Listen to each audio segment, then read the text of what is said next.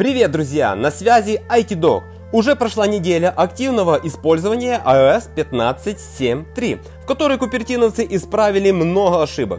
Но и iOS 15.7.3 не без изъянов и имеет ряд проблем, о которых сейчас мы и поговорим. Да, кстати, заходите в наш телеграм-канал, там обсуждаются проблемы разных прошивок, методы их решения и многое другое. Ссылку сможете найти в описании под видео iOS 15.7.3 это прошивка, которая исправила баги в системе безопасности, но кроме этого принесла и следующие проблемы. Друзья, очень буду благодарен, если подпишитесь на мой канал и нажмете на колокольчик. Тем самым мы сможем вместе достучаться до Apple и проинформировать о проблемах iOS 15.7.3. Судя по количеству негативных отзывов и по объему затронутых устройств, с iOS 15.7.3 самая глобальная проблема это повышенный расход заряда батареи. Аккумулятор разряжается просто на глазах. Если на iOS 15.7 хватало до конца дня, то на iOS 15.7.3 iPhone не доживает даже до обеда. К сожалению, да, вынужден в этом признаться. Проблема с автономностью iOS 15.7.3 желает быть лучше. Производительность старых iPhone с iOS 15.7.3 это отдельная тема, на которой стоит остановиться так как, скорее всего, Apple преднамеренно замедляет работу таких устройств. Многие владельцы iPhone, а именно iPhone 6s и iPhone 7, столкнулись с ситуацией, когда после обновления на 15.7.3 их телефон начал работать медленнее.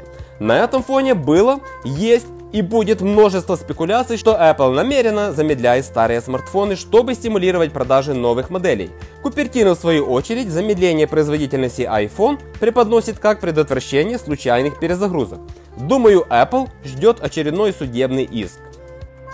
Следующая проблема iOS 15.7.3 это забастовка Siri. Голосовой помощник перестал реагировать на запросы и фраза «Привет, Siri» просто игнорируется на iPhone с 15.7.3. Перезагрузка устройства не помогает решить эту проблему. Я у себя такого не заметил, а как у вас? Напишите в комментариях. Как пишут многие пользователи, обновление на iOS 15.7.3 удалило режим модема.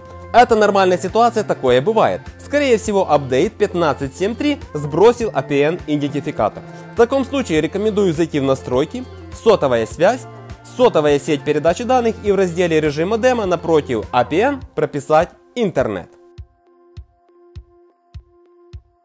iPhone с iOS 15.7.3 начал терять сеть. На дисплее вместо логотипа оператора часто можно увидеть надпись «Идет поиск» или «Нет сети». Особенно это характерно для iPhone моделей 7 и 8.